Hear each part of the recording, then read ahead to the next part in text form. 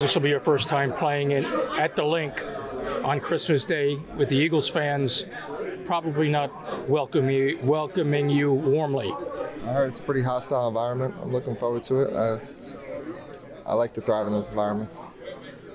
You like being Why? you like being a villain? It's fun. It's part of the game. I like I like a hostile crowd. What's the most hostile crowd you ever faced? Mm, a Bergen Bosco game. You ever seen one of those? 15,000 in the crowd. Don't go well for your family and all. What do you What do you think will be going through your head when they're booing you, what wishing you a happy Christmas or Merry Christmas in your in their own way? Oh. I say Merry Christmas right back. That's that.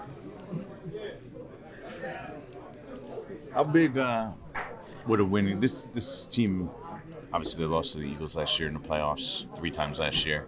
How big would a win against that team mean, sort of for you in your future?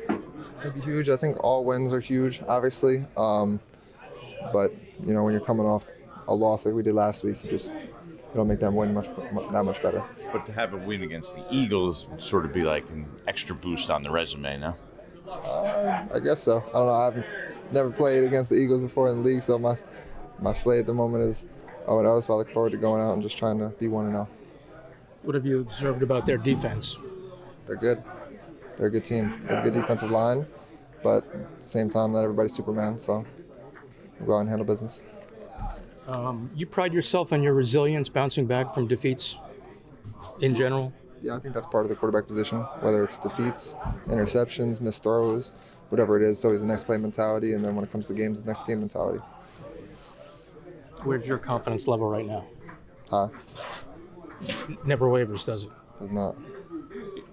What did you What did you make of all the the stuff kind of with the pizza place, and then you went there and smoothed things over? You know, what made you want to go do that, and what did you make of all the kind of confusion about how that went down? Yeah, so obviously there's there was a million things going on. There still is, and um, some stuff just slipped through the cracks. And as soon as I got word about what was going, on, I got word via my telephone. I'm sure some of you did versus ESPN. I was, what is this? Made some calls to uh, my team at the time and got it sorted out and wanted to get over there. I found out, what's today? Wednesday? Found out Monday. Said I need to go there next day. Went there Tuesday. We're over there, face-to-face conversation, talked to them, and then you know I did hire a new marketing team to handle all that, just so everything can be smoothed over and nothing like that happens again. I would think there's a perception that you uh, and Sean has become prominent person that, that you fired him, which is not the case. Right? It's not the case, no. What- what- Sean- Just clarify what exactly his arrangement is with you now, specifically. Sean is my contract agent. That's what he is, and I have a marketing team now to handle all the other stuff. Tommy, what have, what have you learned about popularity and sudden fame and how things have changed in a month and just how just out of nowhere you can kind of get hit with stuff like this that you didn't really see coming? Yeah, um, everything you do is under a microscope times a hundred, even more now. Um, so anything that happens, it's going to be in some kind of article somewhere, like how this happened. I'm sure if this happened a month ago, it probably wouldn't, probably would not have happened how it did, but it did. So you know, got cleaned up, but just continue to be yourself, though.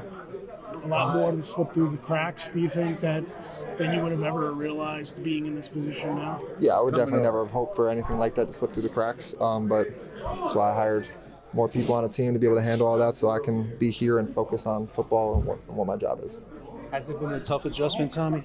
Knowing that everything you do now is under the microscope? No, I've always kind of been like that throughout high school, college. Like I know how it is at the quarterback position, no matter what level it is. Obviously now it's more, but you gotta be yourself and be a good person at all times. With everything going on around you, have you kind of stressed even more to everyone around you that this is where your priority has to be and whatever else happens, they'll let you know when it's time to do that stuff?